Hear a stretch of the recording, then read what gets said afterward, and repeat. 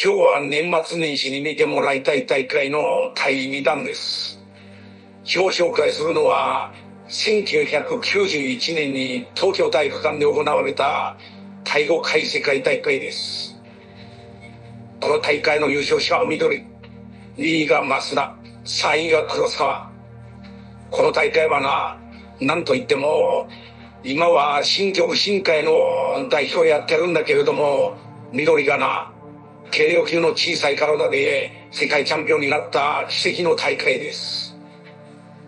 2メートルもある外国人や100キロもあるような人間に70キロの人間がな、立ち向かっていくんだもの。私は大変感動しました。ライジンやブレイキングタウンも多いけれども、この第5回世界大会と先日紹介した第4回世界大会はな、ぜひもう一度な、ゆっくり見てもらいたいです。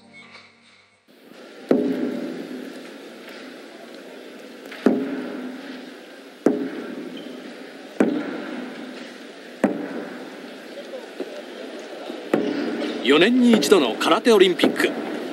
当てる空手喧嘩空手とも言われる大山極真空手。1200万人の頂点に立つのは果たして誰か。大会太鼓の鳴り響く中その瞬間を見守ろうと2万人近いファンがここ東京体育館に詰めかけています。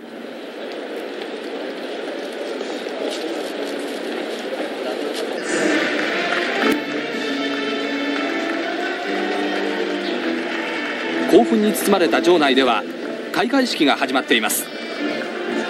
過去最高の105カ国から246人の選手が出場して入場行進が行われています。イギリススイスオーストリアベルギーオランダといったヨーロッパ勢。そして今回初めて代表を送り込んできたソビエト。ブラジルも打倒日本に燃えています。迎え撃つ日本勢は去年の全日本チャンピオン増田。この大会のために復帰した緑。ファイター黒沢。パワーの山木七戸など。2回の合宿を経て万全の体制で臨んでいます。場内は興奮が高まってきました。選手たちは今までの全てをかけた戦いを控えさらに引き締まった表情をしています。これまでにない史上稀に見る激闘が今始まろうとしています。極真精神の頭は低く目は高く口涼しんで心広くこう健全として顔をへきつそれが極真精神であります。今日は最後の決勝決戦日でありますが今日は一つ思い切り戦いを戦い抜いて勝利を収めてください。勝利はこの中で誰がなるかわからないけども勝者は一人しかありません。一人の勝者はありません。しかし最善を尽くして戦うことを願うのである。ありがとうございました。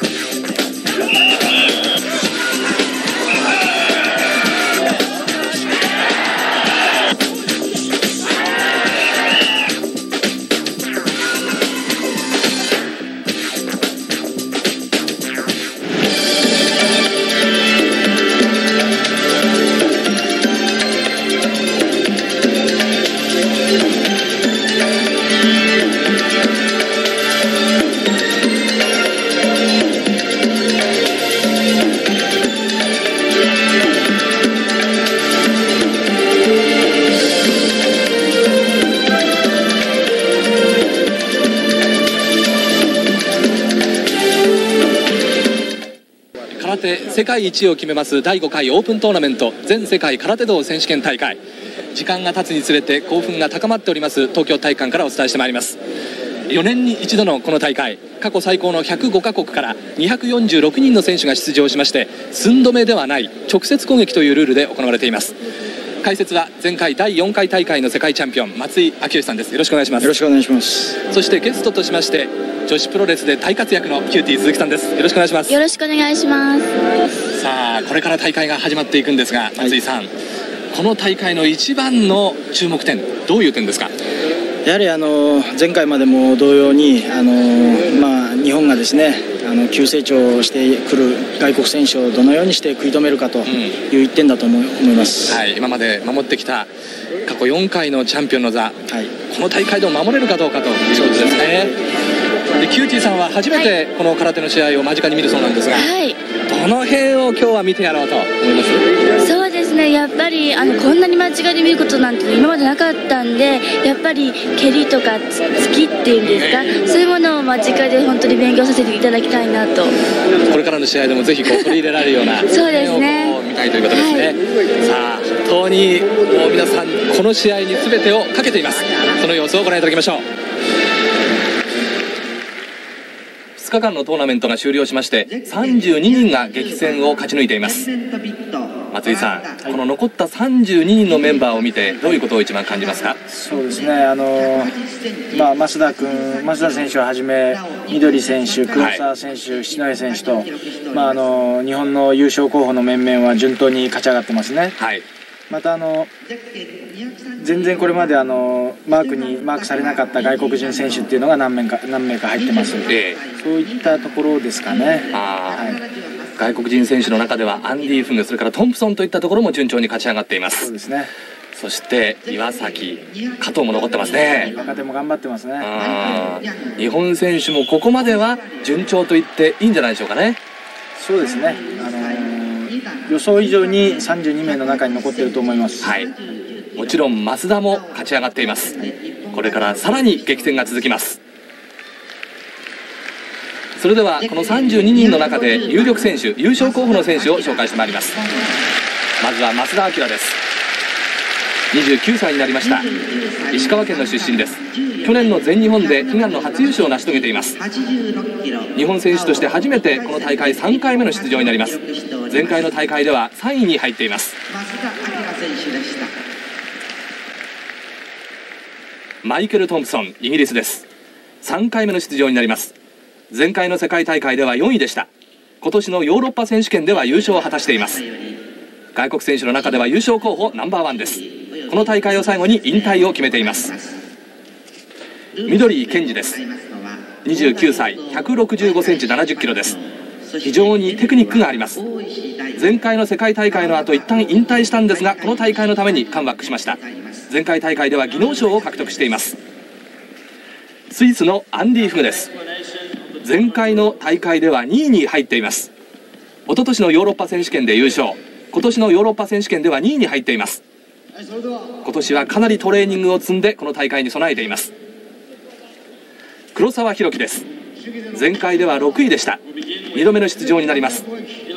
下段蹴りが武器で非常にファイトがあります。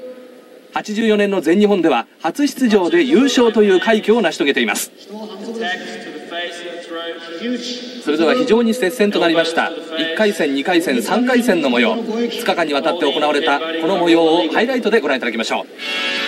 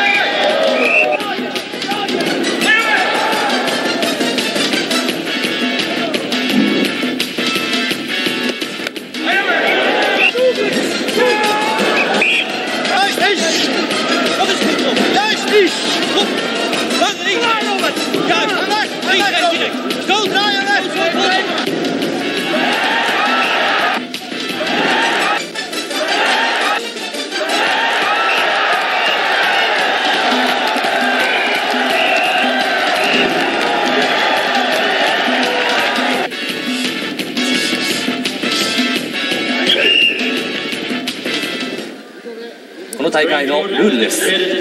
試合時間は3分です。勝敗を決める有効技は一本勝ちそして技ありです。技あり2つで合わせ1本になります。注意が2回で減点そしてその後は失格になります。延長は2分です。2回繰り返しても決まらない時は体重差になります。10キロ以上の差があって少ない方が勝ちです。それでも決まらない時は試し割りの枚数が多い方が勝ちになります。最終的には審判長の決定で決まります。試し割りが行われました。厚さ2 4センチの杉の板です。正剣手刀延期即答の4種類の合計枚数です。制限時間は2分。松井さん、はい。接戦になればなるほどこの枚数が大きな要素になるわけですね。そうですね。延長戦で判定がつかない場合は、えー体重測定になりますね。そうですその後にこの試合が大きな要素になってきます。はい。これは自分で枚数を申告するわけですね。そうですね、えー多くあればあるほどあの選手たちにはポイントとして加算されますんでえーその時の状況によって本人が割れると感じた枚数をできるだけ多く割ってるようですね。はい。しかしこれ割れませんとゼロになってしまいますからね。そうですね、まあ、最低3枚という規定がありますから、あのーそれを2回目にクリアすれば3枚なんですが、ええ。それが割れない場合はゼロという形になりますね。でこれは非常にマイナスになりますので、選手はその日のコンディションに合わせていろいろな条件を見てそれで枚数を決めていくわけですね。ねこの時の選手の心境っていうのはどうですか？まあ、割れるか割れないかというところでですね非常にあの気持ちの上で集中していこうとしてるんじゃないですかね。はい。試し割りが終了しています。それでは4回戦の模様をご覧いただきましょう32人の選手が残っています。まずはゼッケン1番山木健二とイギリスのトレーバー・マリオットの対戦です。ご覧の選手が残っています。この辺から山木もかなりペースを上げてくると思うんですが。そうですね。ここからもうエンジン全開でいかないといけませんね。はい、2回戦は安定で4対03回戦は3対0で勝ちましたこの山木今年3月のスコットランド大会で優勝していますイギリスのマリオットです。そうですねこの選手長身の選手ですからね。はい。あのー回し蹴りにしろ膝蹴りにしろですね。非常に角度のいい形で山木選手に入ってくる山木が積極的な攻撃です。左右の下段回し蹴り。マリオットもちょっと防戦一本になりました。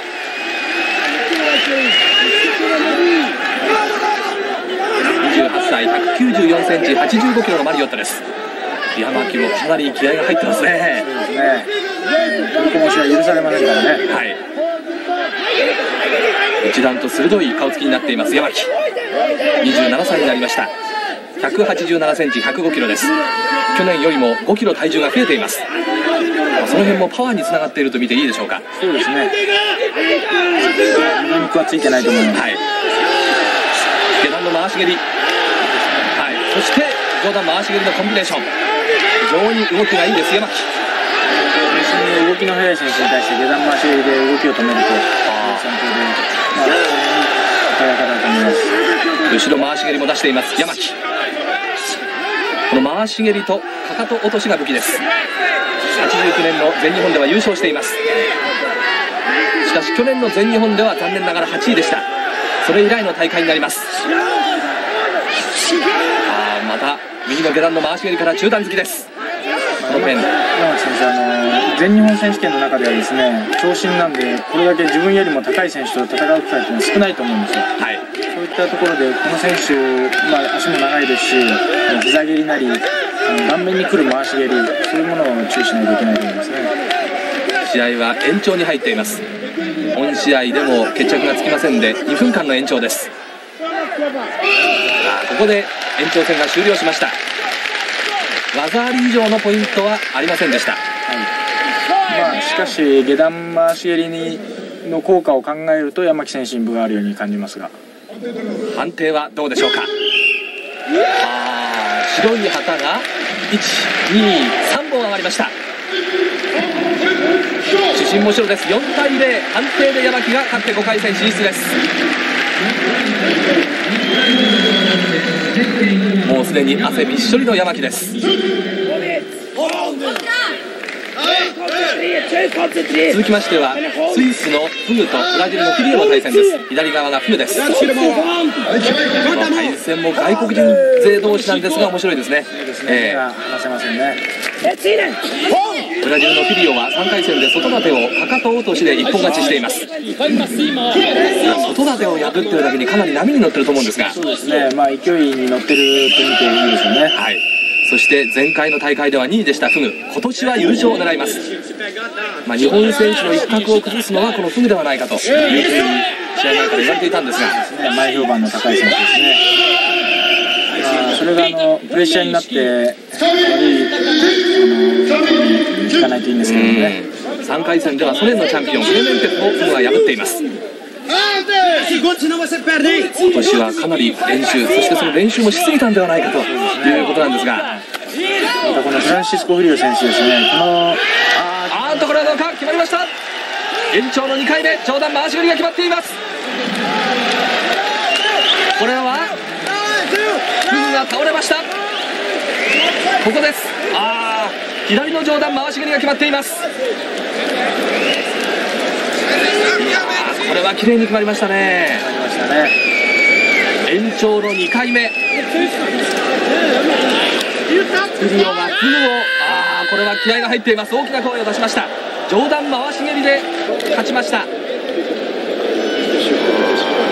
れは番狂わせと言っていいでしょうね。ですね。まあ、フリオ選手の師匠がですねアデミーリ・コスタ選手というブラジルの選手なんですが彼が前回の大会でアンディ選手に負けてるんですね。その師匠の雪辱を果たしましたね。優勝候補のスイスのフグが敗れてしまいました。日本の川本が出てきました。対するのはベルギーのストリッカーです。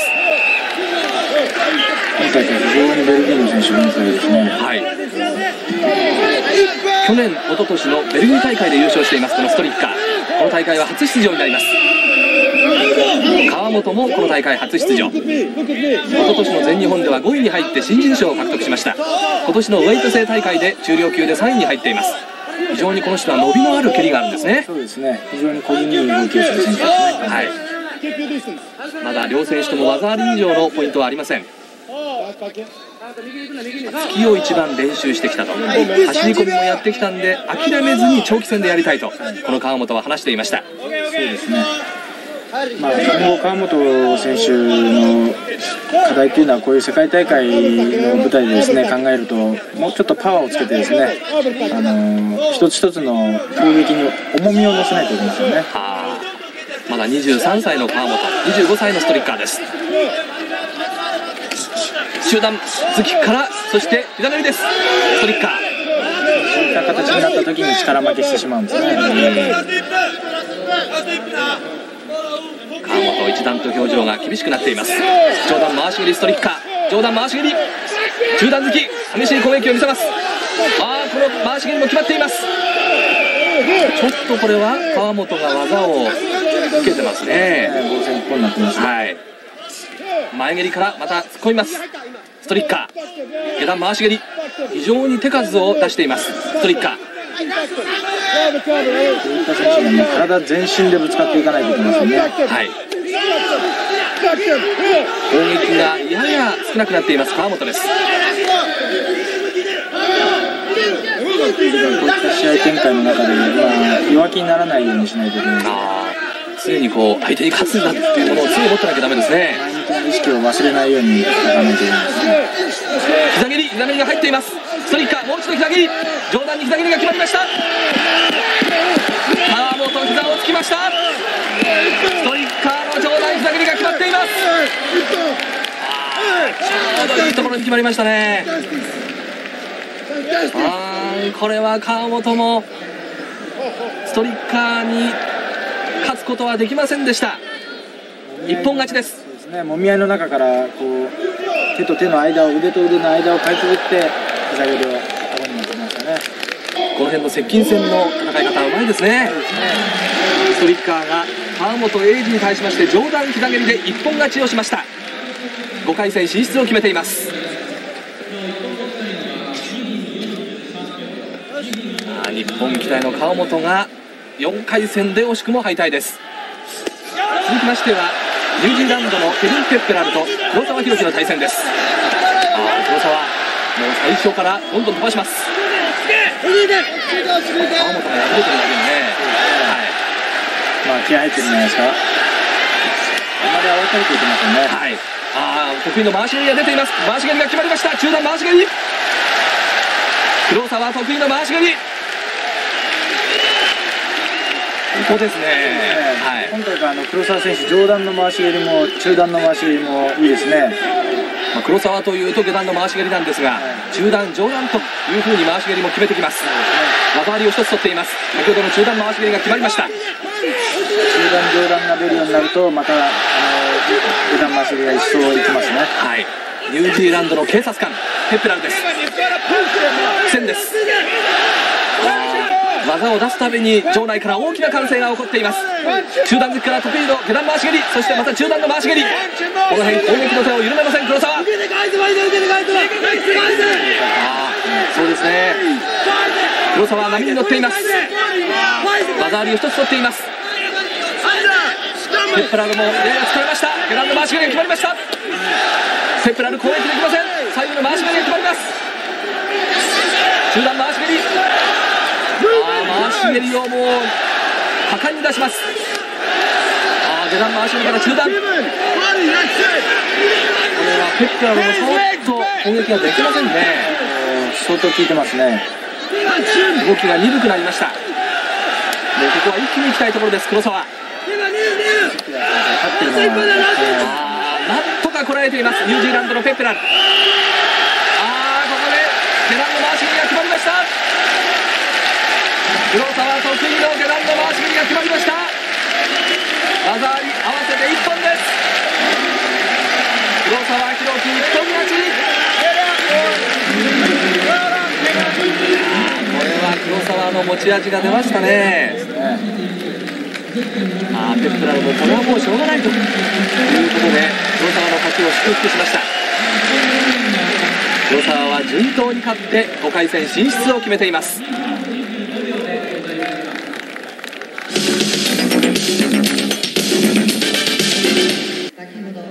4回戦七戸康弘とブルガリアのゲオルギエフの対戦は判定3対0で七戸康弘が勝っています。続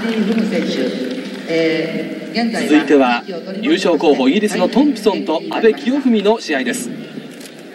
外国人の優勝候補の一人スイスのフグが敗れているだけにこのトンプソンに期待がかかります。延長2回終わりましてポイントの差がないということで体重測定になっています。阿部清文が89キロトンプソンが83キロということでこれは10キロ以上の差がありません。試し割りの倍数ですとトンプソンが23枚阿部が24枚という結果になっています。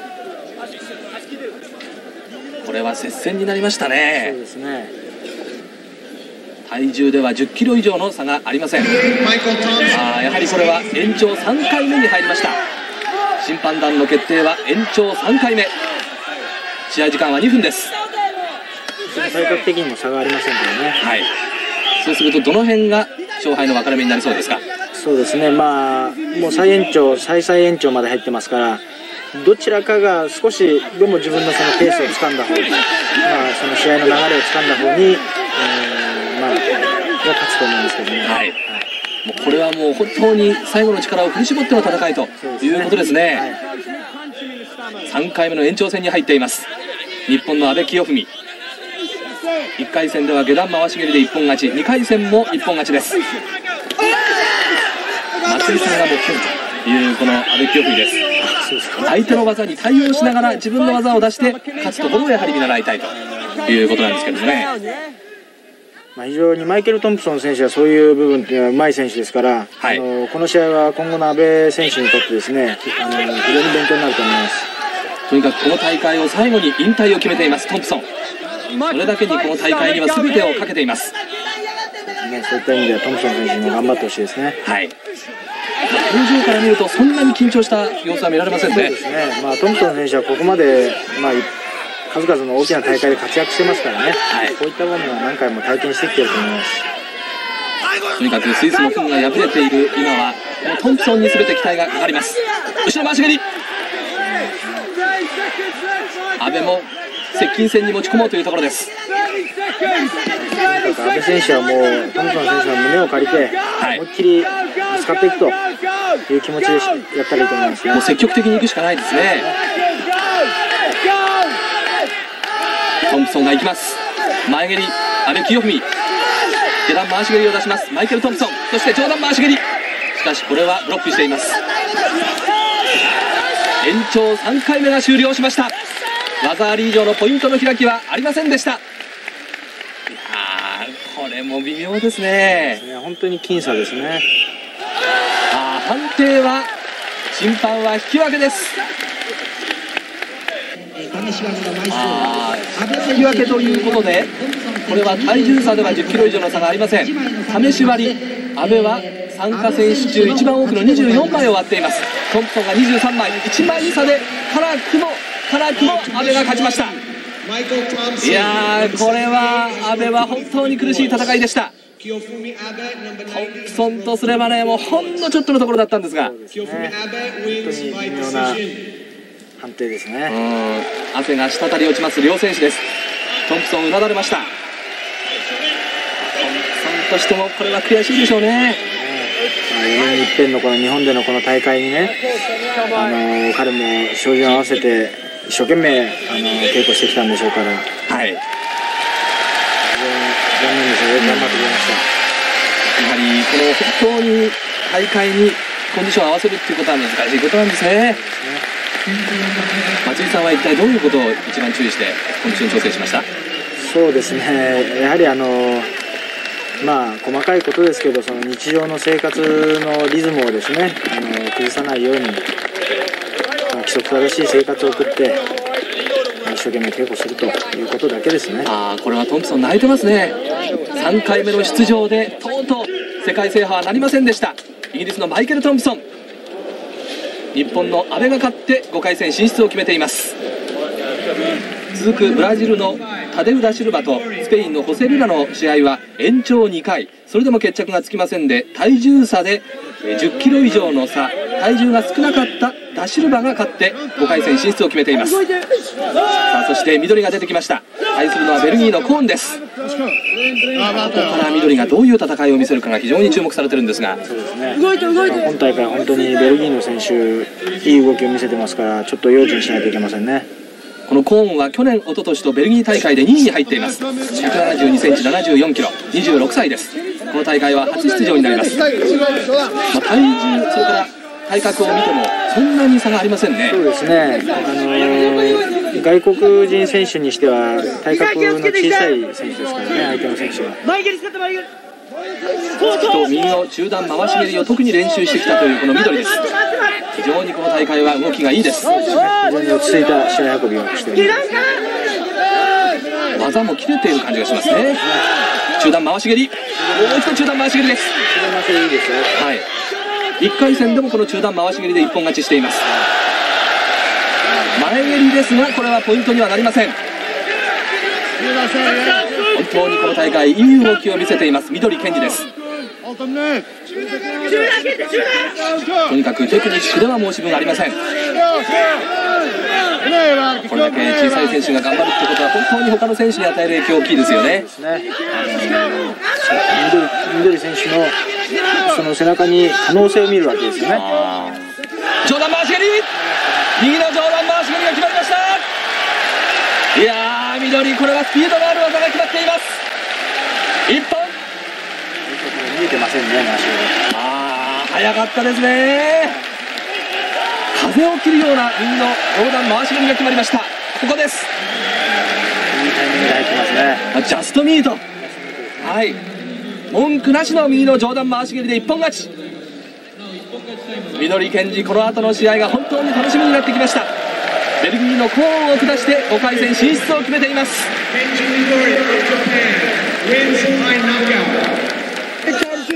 そしてこの大会初めて出場します。非常に足技のうまい園田とイギリスのピクソールの戦いです。このピクソールはどういう選手でしょう？そうですね、このピクソル選手、非常に細身の選手なんですね、あのー体格のいい外外国人選手の中にあって、非常に華奢な感じの選手なんですが、はい。すごく技一つ一つが正確なんですね。あーどんどんこれは技で園田を押しているというピクソールです。あー中段突き左右の中段突きそして膝蹴り膝蹴りが決まりました上段膝蹴りが決まりました。園田が倒れています。こういった外人選手による、まあ、膝蹴り、かかと落としなどでこう一本負けが日本選手の一本負けが目立つんですが、はい。まあ、これはあの言ってみたらその体格だけでなくですね、ええ。技の正確さとか技術的な部分でも外国選手が伸びてきてるということは言えると思いますね。キックソールが見事上段膝蹴りで一本勝ちです。園田が敗れましたしかしこれはちょっと差があったっていう感じでしょうかね。はい。膝蹴りを見事に決めています。イギリスのピックソール。これは5回戦以降かなりやりそうな感じもしますね。ね。ピックソールが勝って5回戦進出です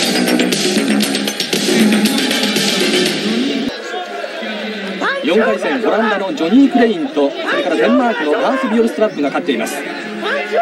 ビオルストラップは日本の加藤武宏を延長3回の末判定5対0で下しています。加藤も日本勢の1人敗れてしまいました。そして若手の期待選手22歳の岩崎達也が出てきました。対しますのは去年一昨年とカナダ大会優勝のリビエールです。強豪選手が出てきましたね来ましたね。リビエル選手はあの大きな体体に似合う非常にいい速い動きをする選手ですからね。はい。岩崎選手も注意しないといけませんね。はい。油断は禁物です。岩崎。相手の出方を伺います。とはごしてます後ろ回し蹴り。後ろ回し蹴り相打ちになりましたが岩崎が倒れています。岩崎が倒れました。起き上がれません。タイミングで入りましたね。これは同時に後ろ回し蹴りを出しましたがわずかのタイミングの差。あーリビエールが決めました。あ岩崎もこれは惜しかったですね。延長の末後ろ回し蹴りで一本勝ちです。リビエールが勝っています。優勝候補の一人岩崎が敗れました。あーこれは悔し涙です。これはやや心のまあ隙間があったんでしょうかね。続く4回戦。石井豊がノルウェーのビゲルを判定の末5対0で勝って5回戦進出を決めています。続きましてはハンガリー。去年一昨年とハンガリー大会チャンピオンのブレゾバイと一昨年のブラジル大会で優勝しているシルバの対戦です。外国人同士の対戦になりました。これはどの辺が見どころになりそうですか？そうですね、えーこのブラジルのシルバ選手ですね、はい。あのあまり動きは速くないんですが、一つ一つの攻撃に力の乗る選手ですから、ええ。そういった攻撃を、あのこのブレゾバイ選手がどのようにコントロールして、とこれは回し蹴りです。中段回し蹴り。中段回し蹴りが決まっています。シルバあーブレゾバイがこれはかなり痛そうです。ここです。あーこれもちょうどあれですね。あの空いたところを決めたんですね。ですね。ちょうどあの肝臓のところにレバーに入ってますね。はいシルバが左中段回し蹴りで一本勝ちです。ニュージーランドのタキワとオランダのビットの戦いです。外国人勢同士の戦いになりました。中段突きから下段回し蹴り。攻撃型の選手ですから、はい。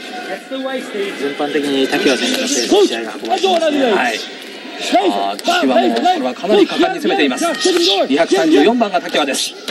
中段突き中段突きから膝蹴り攻撃の暇を与えませんね。はい。非常に連続技が冴えています滝は右の中段突きからグラン回し蹴り右の中段突きが決まりました。滝は決めました。ビットがまた痛そうです。大きな声援が起きています。ニュージーランドの滝はが右の中段突きで一本勝ちです。あーこれもかなり力が入ってましたね。威力がありました。レバーのところですね。あー。崩れるようにオランダのミットが倒れていきました。滝輪が一本勝ちで5回戦進出です。この辺外国人選手もかなりいろんな技を出してきますね。そうですね。技術的に向上していると思います。はい。そしてこの後はいよいよ日本の増田明が登場です4回戦最後の試合になりました。増田明対オーストラリアのマイケル・ヤングです。3回戦では目の上を負傷しました。さあこのハンディキャップをどういう風にして乗り越えていくか。増田明気合が入ります。オーストラリアのヤング選手ですね、はい。非常にパンチの強い選手なんですね、ええ前回の前々回の世界大会でもですねあの準優勝した三平選手のあのあばらをこう強打したええ。増田にとってもやりやすい相手ではないですよね。そうですね一昨年のオーストラリア大会で優勝しています。そして今年の大会では3位になりました。ヤング。増田去年は全日本で本当に念願の初優勝を成し遂げました。この世界大会でも初優勝をかけています。しかし3回戦では右の目の上を切ってしまいました。あー中段突き。の影響はどうでしょうかね。いやあの目の上の影響はほとんどないと思います、はい。あの随分、あのテープを巻いてますから、ええ。ちょっと視界が遮られると危ないようなちょっと包帯が痛々しいこの増田です。今のところまた見てるとほとんど問題ないんじゃないかと思います。はい、今年はディフェンスをしっかりやりたいというこの増田ここまでは順調に勝ち上がっています。相手はオーストラリアチャンピオンのヤングです。後ろ回し蹴りヤング。はい増田も落ち着いて攻撃しています。中段から回し蹴り。中段の回し蹴り。まだポイントの開きがありません。中段突きから中段の回し蹴り。この辺のコンビネーションも非常によく決まっています。上段回し蹴りのヤング。中段回し蹴り。右の中段回し蹴りが決まりました松田決めました。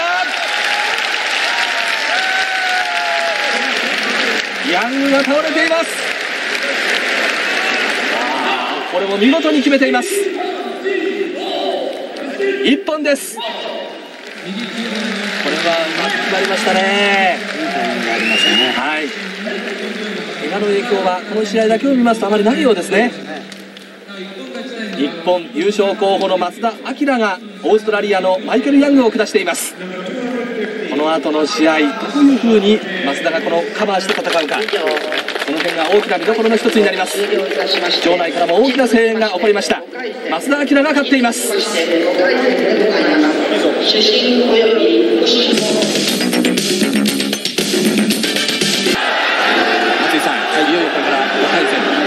16まで決まってるんですがこのメンバーを見てどういうことを感じますか？そうですね。あのさ、え3日目に入って32名の選手が残ってるわけですけども、まあ、その中で16名、えー残ったと。でその32名から16名に絞られる間に日本選手4名落ちてるんですよね、はい。非常にあの王座を守るという意味では難しい展開になってきていると思います。ってきた日本の王座が守れるかどうか、はい。ということですね、はい。まあ、16人の中で優勝に一番近い選手といったらどういうふうに見ますか？まあ、あの近いという言い方はどうかわからないですけどもあの候補としてやっぱり挙げるとするならば全日本チャンピオンの昨年の全日本チャンピオンの増田選手、はい。それから準優勝の緑選手またあの黒沢選手や七戸選手も頑張ってますんであの候補として挙げられると思います。またあのカナダの新人ですか二十歳のジャン・リビエール選手ですね。非常にあの大きくて動きのいい選手ですんで注目していきたいと思います。そしてキューティーさん？選手の中でこの選手はっていう選手はいないですか？そうですね。やっぱり私も体が小さいんであの大きい選手小さい選手の方をちょっと、うん、応援していきたいななんて思ってます。はいとにかく選手の皆さんはこの世界大会に向けて今までの辛さ悔しさ苦しさを全てぶつけてきますからね。そうですね。これからどういう戦いが見られるんでしょうか。5回戦には16人の選手が勝ち進んでいます第1試合は山木がブラジルのフィリオを延長3回4対1で下して準々決勝進出です。第2試合は黒沢がベルギーのストリッカーを4対0判定で下して準々決勝進出を決めています。5回戦の第3試合になります。日本勢同士の対戦になりました。こちらが阿部清文そしてこちらが七戸康弘です。松井さん5回戦で早くも日本選手同士の対戦になりました。そうですね。えうんぜひいい試合を見せてほしいですね。えさあまずは阿部が最初に技を出します。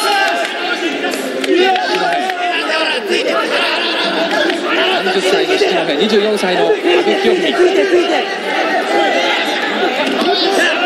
まあ、松井さん両選手とも相手の手の内をよく知ってる対戦ということになりますね。そうですね。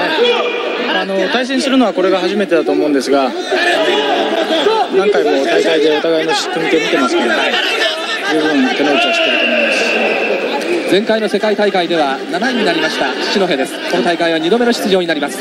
そして阿部は初出場です。去年のアジア大会で優勝しています。非常にスタミナのある選手阿部です。ベテラン対新人ですね。そして今年はこの日本選手団のキャプテンも務めています。七戸です。まあ、突きとか膝蹴りがこの七戸は得意ですね。はい、そうですね。とにかくウェイト制の大会では重量級は5回出場して4回優勝を飾っているというこちらの七戸です。はい、と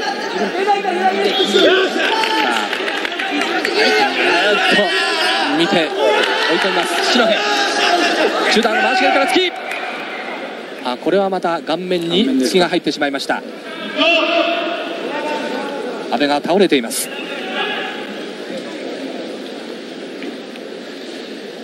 178センチ87キロの阿部一方185センチ108キロの七戸です。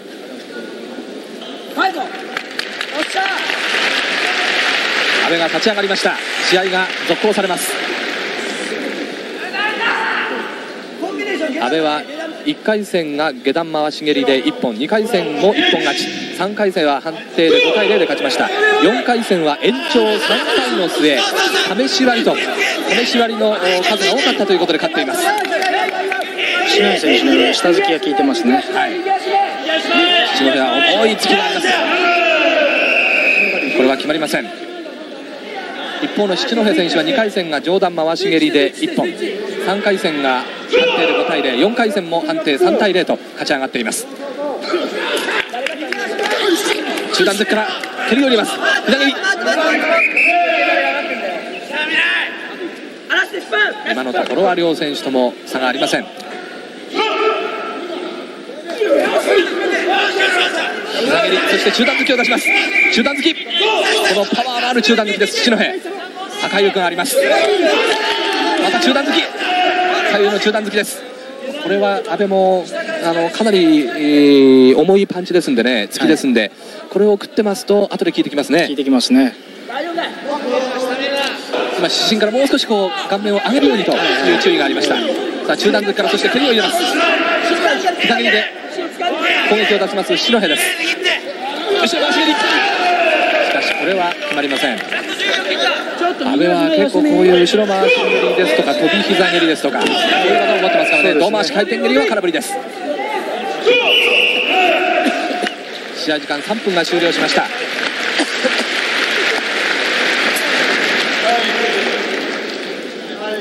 両選手とも技あり以上のポイントはありませんでした。白い旗が4本戸が判定5対0で阿部を下しました。準々決勝進出を決めています。しかし阿部も非常によく健闘しましたね。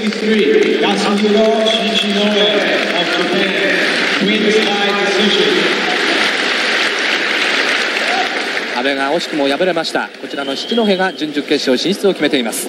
ゼッケン99番タデルダ・シルバーブラジル。続いて5回戦の第4試合になります。一段と場内から声援が大きくなりました。日本の緑健二が出てきました。対するはブラジルのタデウダ・シルバです。初めてこの大会に出てきましたシルバ。一昨年のブラジル大会で2位去年のブラジル大会では4位に入っています。2回戦では日本の山本健作を下しています。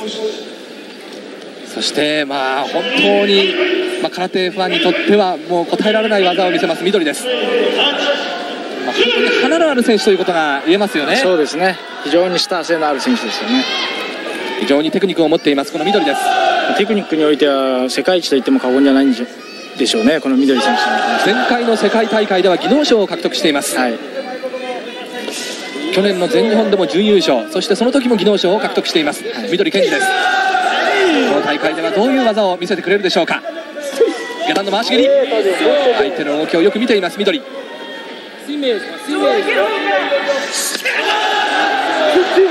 し蹴りも非常に今日は切れています。あーこれ気をつけないと、はい。中段の回し蹴りそして押ししますシルバ相手のこのシルバ選手もブラジルのサンパウロの本部道場でですね師範代をやってる選手ですから、非常にうまい強い選手ですよこの辺は侮れないですね。緑もあ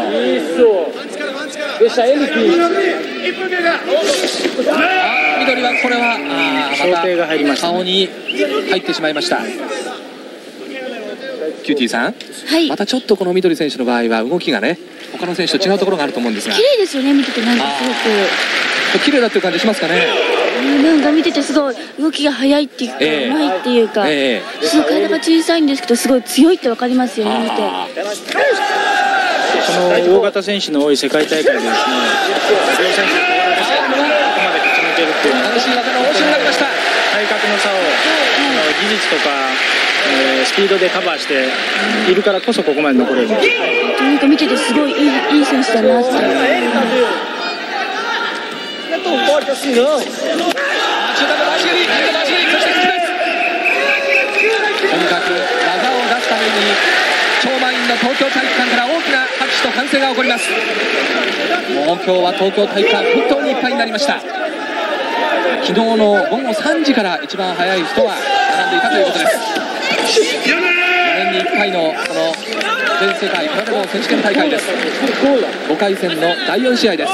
緑健二とブラジルの中盤対戦です。また両選手ともポイントの開きがありません。しかし緑の動きはいいようです。下段の回し蹴りしかしこれはダメです。再三にわたってシルバがこのかかと落としを出してきます。ああいった技を注意しないといけないですね。はい外国人選手というのは日本人選手のあの使わないような技を突飛な技をしてきますからそういった動きに注意しないといけませんね。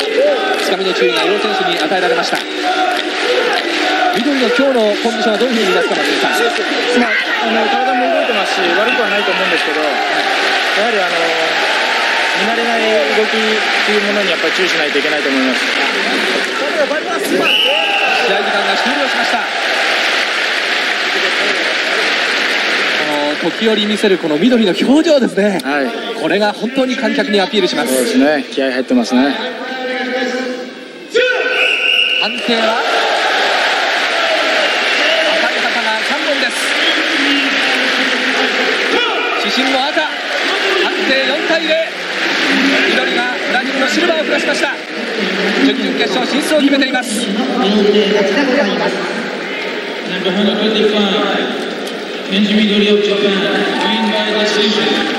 5回戦の第5試合は延長に入りました。向かって左側オランダのクレインそして右側がイギリスのピックソールです。この大会3回出場というピックソール。そして初出場のオランダのクレインです。まだ両選手とも大きな大会での上位入賞はありません。さんそういう意味ではピックソールは3回目の出場ですんで、はい。こういう大きな試合に慣れているという慣れてますね。あの英国では比較的大きな試合もあのヨーロッパ選手権などで開かれてますから、こういった試合の雰囲気に慣れてますまあ強さでとにかくパワーでどんどん押してくるタイプのオランダのクレイ。ンそしてうまさで技を出してくるというイギリスのピックソールです、下段の回し蹴りから中段抜き右の中段抜き。中段抜きを先ほどから出していますクレインあこれは技が決まりました技ありです技ありを取りましたオランダのクレイン場内から攻撃が起こっています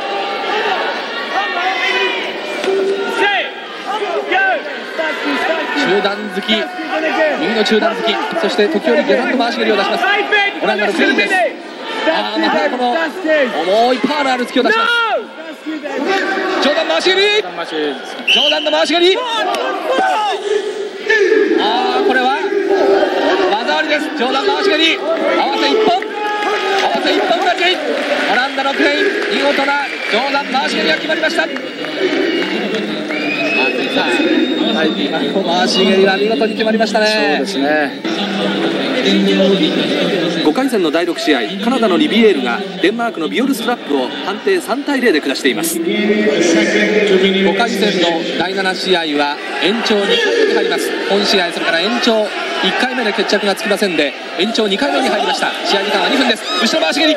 しかしこれはきちんと受けています。石井松井さん、延長に入ってから石井の動きはだいぶ良くなっている。そうですね。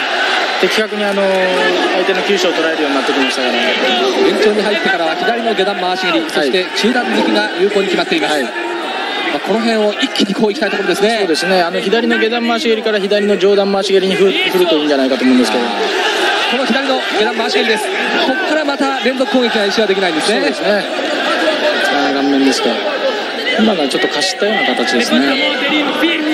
とにかく坂道を毎日ダッシュして練習を積み重ねてきましたこの石井です。サウスポー威力のある突きはあります。この大会は初出場です。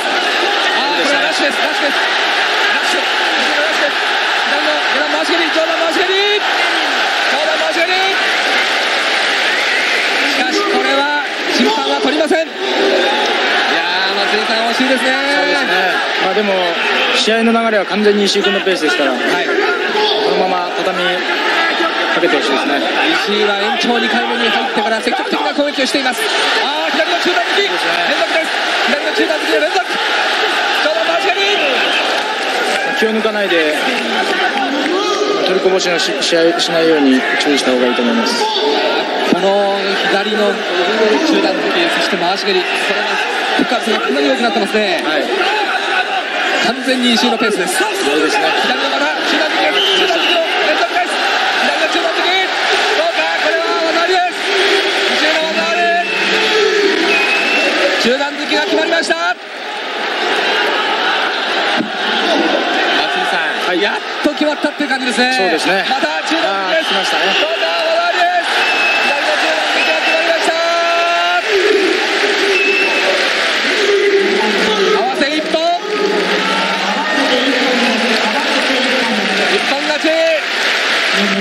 綺麗に決めてくれましたね。いやーのあの畳みかけるような左の中段突き、はい。これはすごかったですね。そうですね。いやー石井これは本当にいいところを見せました、延長2回の末一本勝ちを飾りました石井です。準々決勝進出を決めています。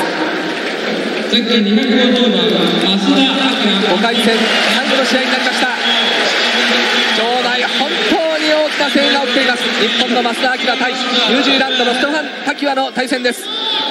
増田は昨日の3回戦で目の上を負傷しました。5センチの切り傷ということで松井さん、はい。15本を打ったということですね。そうですね。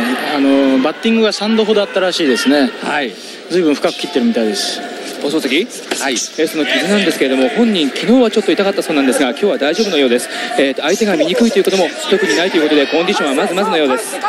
というふうに言ってますけれどもね松井さん。これは大丈夫。影響がないっていうことはまあないように思いますないでしょうね。とにかくそういうふうに考えてやるとそうですね。本人自分自身をこ鼓舞してるんじゃないですか。うんまあ、意気込みの表れというふうに取った方がいいかもしれませんね。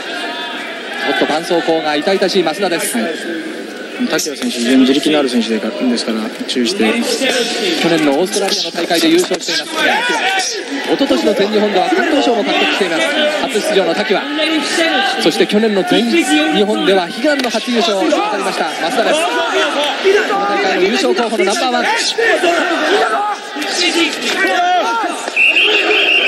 今年はですね、大会の前5月に責任組手を達成して、その後腎臓を悪くして体調を崩したんですね。そうですね。修正腎不全で一月ほど入院したんですね選手はそれを乗り越えて、この世界大会ということになります。左の上段回しに、しかしこれは途中にはなりません。あー中段突き、最後中段突き。増田、この回し蹴り。場内、当然となっています。あ本領発揮です。ねあー、増田。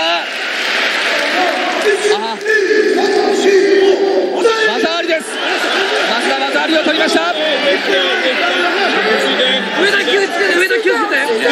ですね本当にこの怪我は感じられません増田。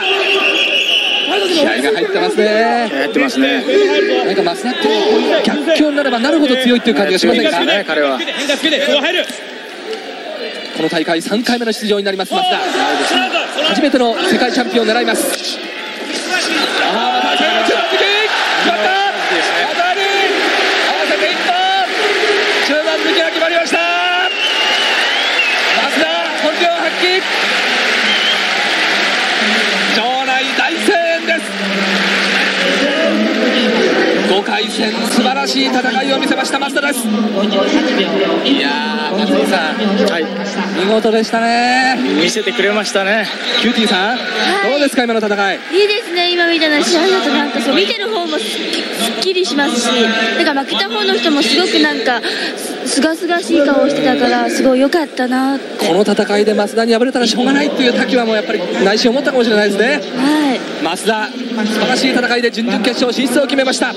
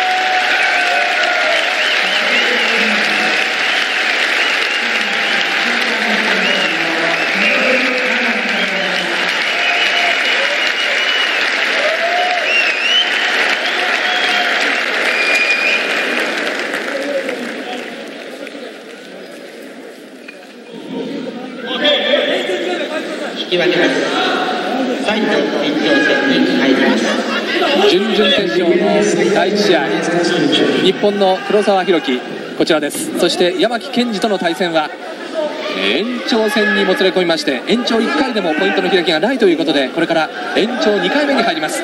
松井さん、はい。ここまで一進一退、はい。両選手ともちょっと攻め上んでるという感じがしますね。ね。この辺の突破口としてはどうでしょうか？そうですね。あの両選手ともあの接近戦になった後に技をつなぐようにした方がいいと思うんですよね。ああやって抱えてしまうといけませんね破壊力のある下段の回し蹴りが武器ですこの黒沢そして上段回し蹴りちょっと落としが武器です山木健二ああ危ないですねこの得意な技が出ましたがこれはポイントにはなりません。あれは気をつけないといけないそうですね。ということですねまあ、山木選手もあのかかと落としを出すときにもっと的確に狙ってですね、はい。あの振り下ろせばいいと思うんですけども、この辺の正確性とえーそうですねいうことになるんでしょう延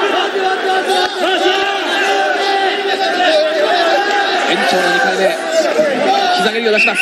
接近戦、まあ、先ほどからまあこういうパターンが再三見られるんですけどね。もう一つ決定的な技を両選手が出すことができません、そうですねあまり狙わないでコツコツと当てるような形で山木選手のまあ内股を狙っていったらいいんじゃないかと思うんですけども中段回し蹴り。あい。いですね中段抜け今度は山木の反撃ですここのいいですね。全ての中段突きです。中段突き最後の中段突きそして左。に山木もこの辺威力がある技を持ってますからね。かなり肩で大きく息をしています。山木です。非常にこの両選手で大きな声が飛んでいます。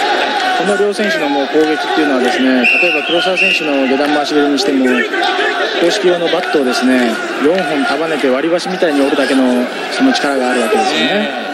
ですから2人とも気抜けないと思いますね。黒沢もその左手の指を脱臼してちょっとまだ変形をしてるわけですよね、そしてテーピングをしてのこの大会の出場です、延長2回目も終了しました。技あり以上のポイントはありませんでした。判定は赤が1人。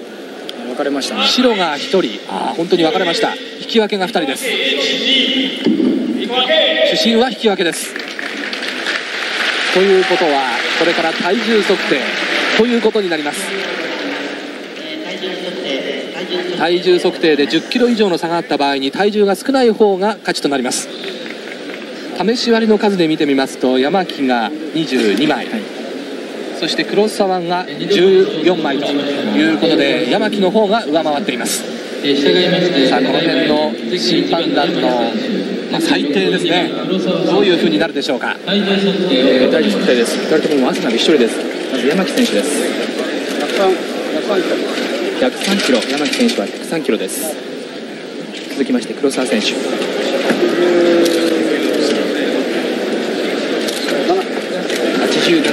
黒沢選手は87キロです。山木が103キロ。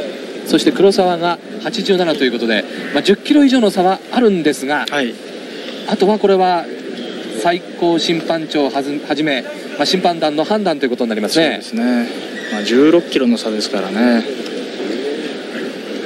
さあその辺の最低はどういうふうになるでしょうか。やは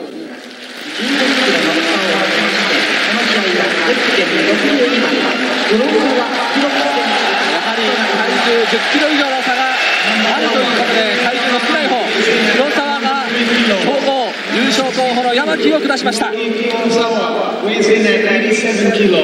ー松井さんあーちょっとね山木も試合ですね。ですね。まあ残念ですけども。はい。あー本当に悔しそうな表情です山木。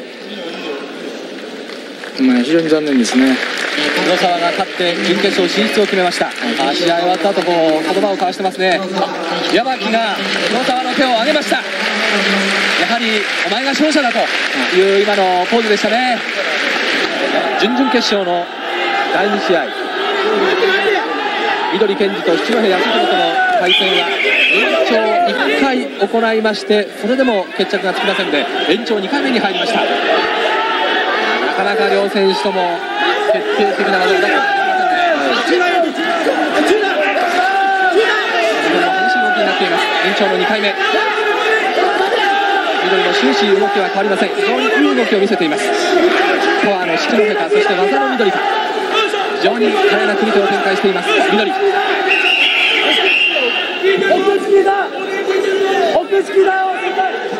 延長の2回目に入って、緑の動きはどうでしょう若干篠谷選手のペースにななってきたような形ですけどもここで緑選手動かないといけませんね、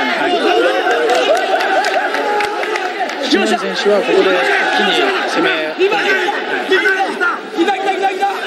中段回し蹴り右の中段回し蹴りが入りましたしかしこれはポイントではありません中段効い。てますよ、ここは一気に行きたいところです緑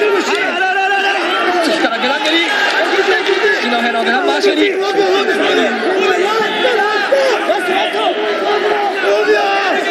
に技があります。緑です。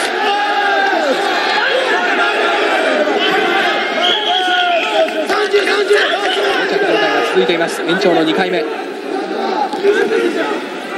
七戸もこの緑に対してはちょっと攻め歩んでいるという様子が見られます。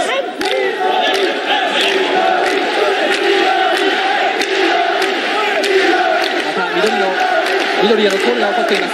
左を出します。七戸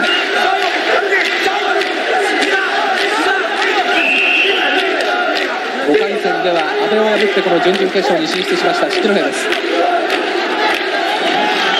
延長2回目も終了しました。差はないですね。技あり以上のポイントの開きはありませんでした。審判の判定はどうでしょうか。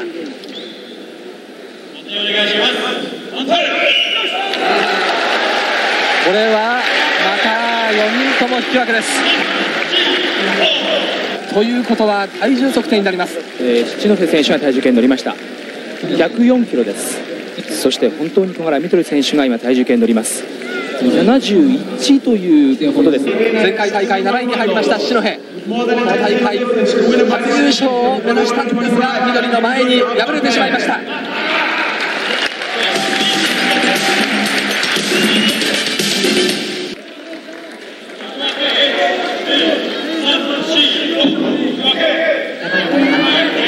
勝の第3試合は本試合を戦いましてポイントの開きがないということで延長に入ります。左側がゼッケン180番カナダのリビエールです。そして右側がゼッケン148番オランダのクレインです。両選手とも初出場です。26歳のクレイン。そして20歳のリビエールです。あードミルが出ました。ドミルがガラッと出ました。しかしクレインがよく受けています。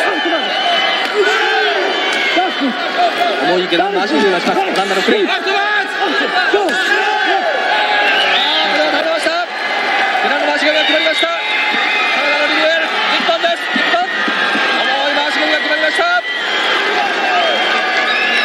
カナダのリビエルパワーを見せました一本勝ち延長に入ってからパワーのある回し蹴りを出しましたカナダのリビエルいやー今のは本当に見るからにも重い回しですね。そうですね。準々決勝の第4試合増田明対石井豊の対戦は、えー延長戦に入ります。本試合を戦いましてポイントの開きがないということで今延長戦に入っています。両選手がちょっと、まあ、相手の出方を伺うという状態が続いています。中段回し蹴りですね。はい延長に入ってからは両選手動きがあるでしょうか。相手の出会いを伺います。下段の回し蹴り増田顔を食いしばって技を出します。中段右そして膝蹴り。石井です。松井さんこの辺両選手の駆け引きなんですけどね。そうですね。回し蹴り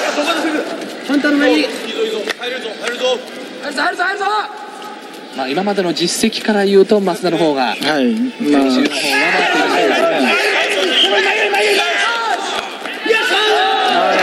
ですいいですね今の前蹴りポイントにはなりません。左内側から中段回し蹴り、増田。増田が今度は積極的に攻撃をします。中段回し蹴り。中段突き。増田のラッシュです。これが増田君の持ち味なんですねあ増田が行きます。増田が行く。合成一本石井。ここは増田が出ました。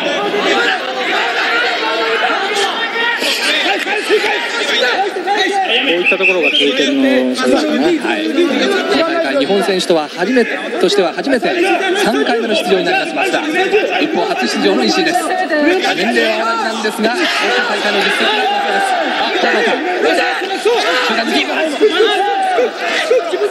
そして回し蹴りこれは思い切った中段抜きを出しています。増田です。右の中段抜き左手で押し出します。石井。非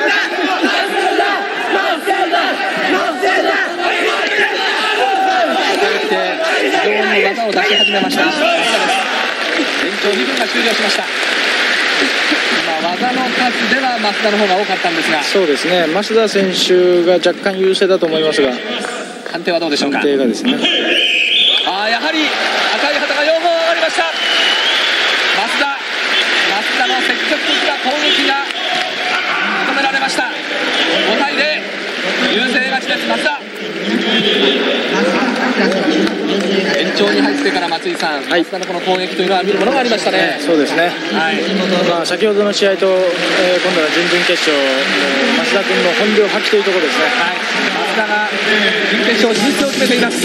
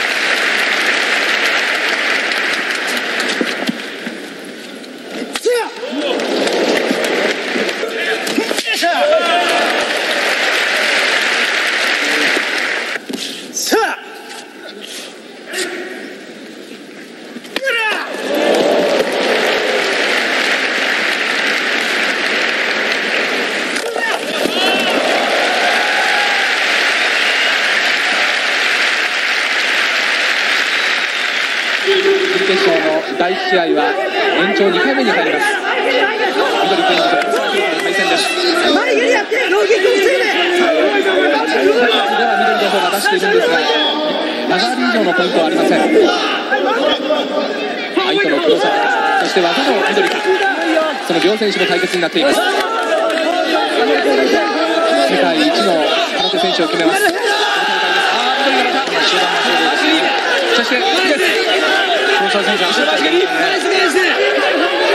そして、です。黒沢選手、走ってますね黒沢にそういう動揺がちょっと見られますか？いややっぱりあの動揺というか、結局相手にいい攻撃をもらえばその分返そうとする意識が働きますからね。なるほどどうしてもあの無無無えーその無防備に前に出がちですよね。延長戦に入っています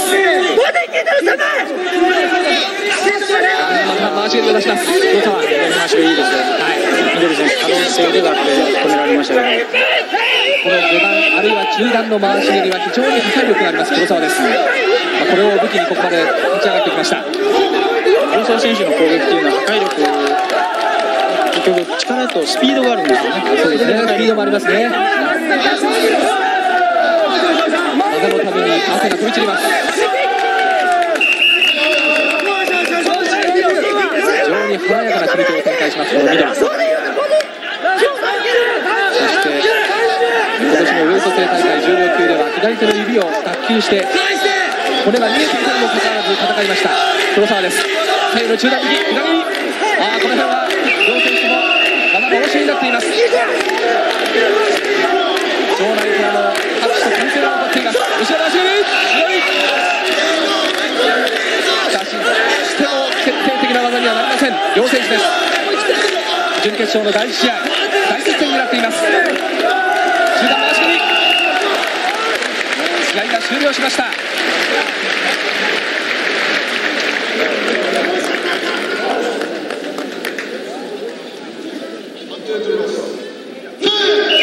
ああ赤が1人その他3人の審判は引き分けです。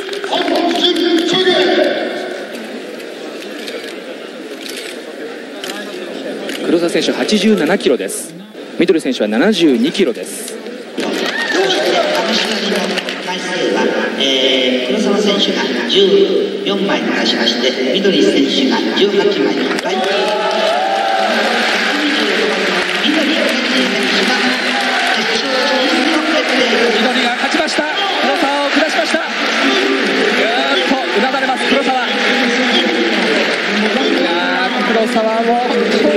んですけどね松井さん。はい、そうですね。あーちょっとこれは涙が出てますね。黒沢が涙の祝福です。もう本当にこれまでのあの黒黒沢君の過程を見てきたらですね、本当にこれ、まあ、言葉ではちょっと言い表せないですよね。いろいろな試練を乗り越えてこの代表になって、はい。そして準決勝まで来たんですが緑の前に屈しました。延長2回目に入ります。準決勝第2試合は第1試合と同じような大接戦になっています。日本の松田明対カナダのジャン・リビエールです。本試合延長1回と戦いまして技リードのポイントの開きがありません。延長2回目に入りました。松田とすればここで何とか決めたいところですね。そうですね。まあ、いいですね。あー動きは衰えません。全日本チャンピオンの増田です後ろ回し蹴りしかしこれはリビエールも落ち着いて受けています。ああいうところはリビエールもさすがっていう感じがしますはい、ね、そうですね。強豪の優勝候補ナンバーワンの増田と互角に戦っています。ただ一人外国選手で残りましたカナダのリビエールです。初出場という感じしませんね。はい。非常に増田の動きをよく見ています体調の悪さそして怪我を押してこの大会怖いですね。左回し入れ。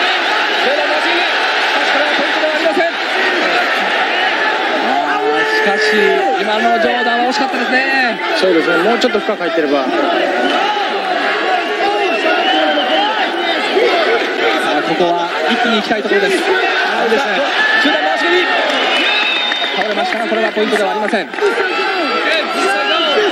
こへ来て増田が上段回し蹴り技を決めてはいるんですがポイントにはなりません。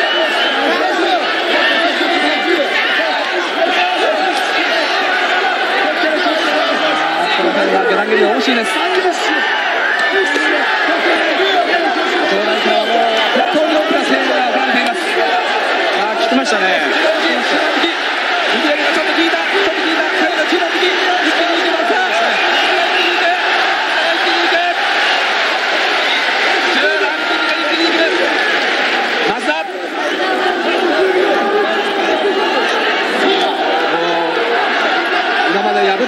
選手も増田選手優勝ですね終了しました判定はどうでしょうかかなり増田が押しているようには見えたんですが、はい。審判の判定は果たしてどうか。あ赤が1人。青が引き分けです。自身も引き分け。延長2回でも引き分けということになりました。体重測定です。リビエル選手127キロです。127キロ。明らかに差があります87キロです。87キロ。体重差で増田が勝って決勝進出です。増田が勝ちました。去年の全日本選手権の決勝と同じ顔合わせになりましたね。ね。決勝は増田と緑という去年の全日本の大会と同じ顔合わせになりました。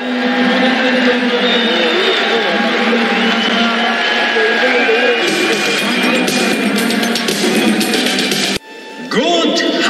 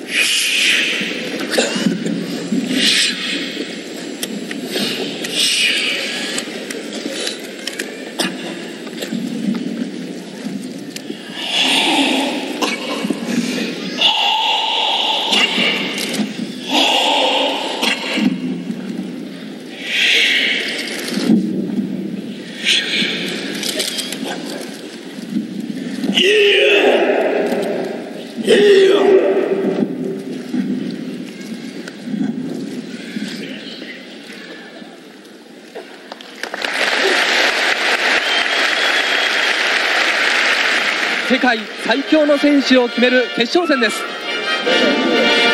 決勝は日本勢同士の対戦になりました。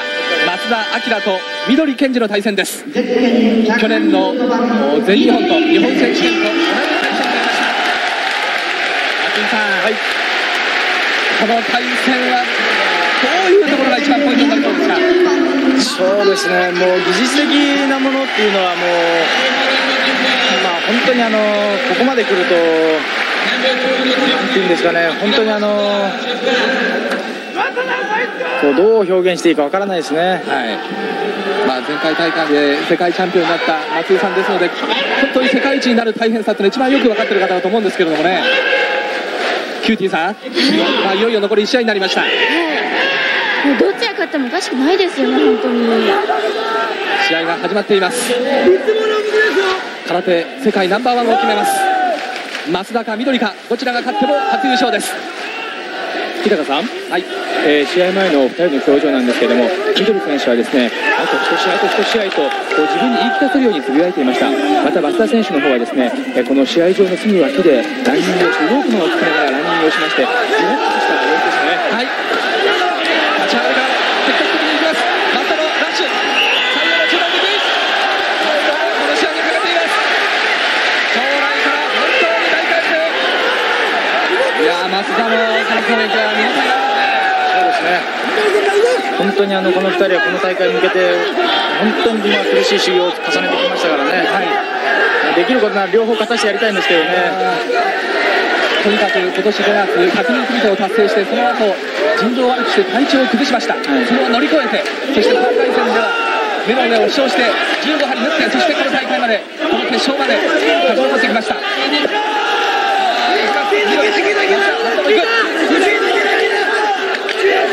そして緑は前回の世界大会の後一旦引退してふるさとに帰ってそしてこの世界大会のために2年ぶりに去年カムバックしましたそういう意味では両選手とも絶対に負けられないという気持ちはありますそうですね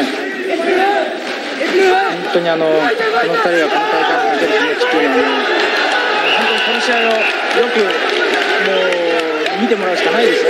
そうですね。両選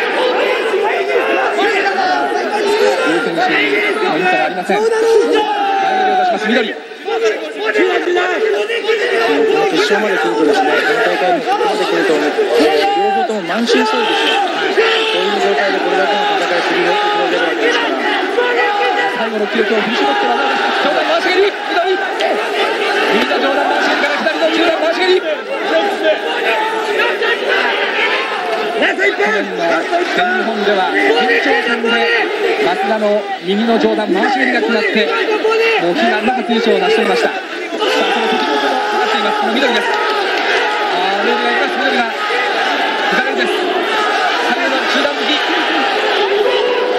左の中段突き右の中段回し蹴りやや防戦に回りました松田中段前蹴り松田も応酬しますいやー、そういう緑選手試合になっています。すごい気迫気迫ですね、緑選手。から回し蹴りへという緑です。松田。こ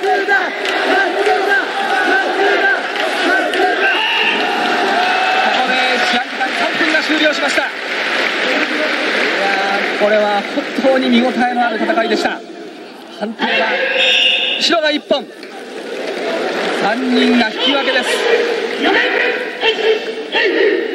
本当にあの両方に優勝してほしいぐらいなんですけども、ここでもし緑選手が優勝するようなことになれば、あの非常にこれからあの体の小さい選手、またあのな選手の励みになりますね。165センチの緑、177センチ、86キロの増田。本当にこの体でよくここまで勝ち上がってきました緑です。そして松田もいろいろな逆境を乗り越えてここまで勝ち上がっています。ああ、中段回し蹴り、中段回し蹴り、中段回し蹴りから突き、松田がラッチで松田がいきます。松田の激しい攻撃です。とにかく追い詰められればなれるほど逆境になればなるほど強さを発揮するこの増田です。そうですね。先ほどの中段回しが良かったですね。お互いに中段回しがいいですね。世界一をかけての戦いです。勝った方が世界ナンバーワン。世界最強の空手選手ということになります。延長に入っています。まだポイントがありません。両選手です。中段回し蹴り増田。中段突き。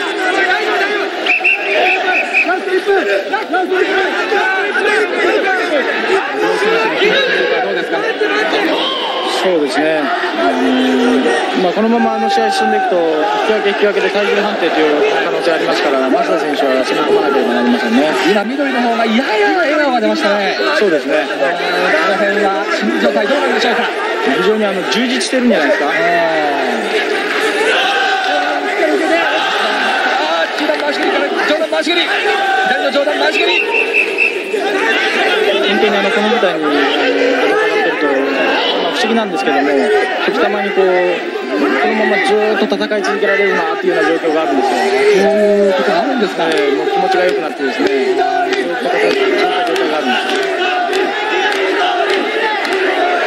上段回し蹴りから技を出そうという緑ですマスター下段の回し蹴りを出しますこの辺もあと後ろ回し蹴り今度は最後の中段突きを出しますマスター左延長1回目も終了しました。一進一退ですね。いやー本当に両選手とも譲りません。大接戦になっています。あー全員引き分けです。続いて延長2回目に入ります。はい、この辺の勝負の微妙なあや、はい、この辺はどういうふうに見ますか？そうですね、もう本当にあの両者とも技術的にも精神的にももう充実してますんでね、本当にあのだから紙一枚の勝負ですね。もう本当に今までの全てを出し切ろうという両選手です。手の力を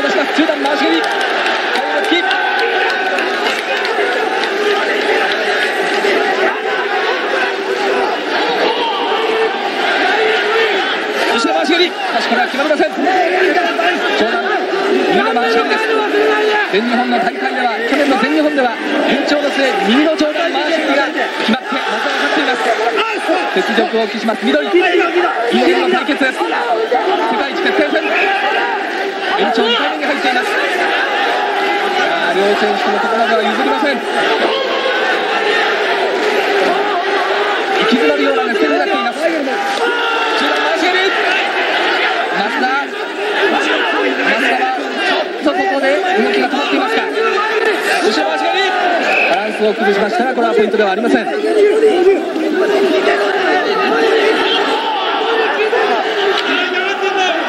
当に好試合ですね。前蹴り緑。上段回し蹴りを狙います。松田。松田も下段回し蹴りを出します。歯を食いしばっての技です。下段回し。緑中段回し蹴りこれは後ろ回しですが歯もここで出してきました松田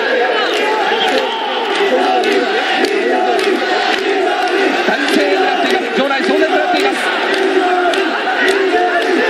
こういった時になってああやってフェイントを使った蹴りができるっていうのも緑君の強みですね。この辺はあーここで延長2回目が終了しました技あり以上のポイントの開きがありません判定に持ち込まれます。ああやはり引き分けです。延長2回目も引き分けです。両選手とも本当にまあ松井さん、はい、全て力を出し尽くしたっていうことも見てて感じたんですけれども。そうですね。緑選手72キロです。72キロの緑。そして続きまして増田選手87キロです。増田が87キロ15キロの差があります。試合は延長2回まで、えーもつれ込みまして決着がつきませんでした。そして体重測定です。審判団がどういう判定を下しますでしょうか。青山最高審判長がずっと試合の行方を見つめておりました体重株式会社の緑選手やはり判定は緑です第5回オープントーナメント全世界空手道選手権大会世界ナンバーワンには緑健二が輝きました世界最強の空手選手には緑健二が輝きましたさあ両選手抱き合います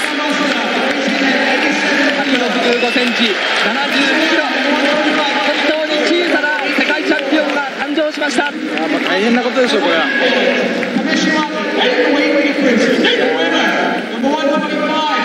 松田も本当に怪我をして、決勝までよく戦い抜きました、い、やー松井さん、本当に息が詰まりそうな戦ですしたね。ね。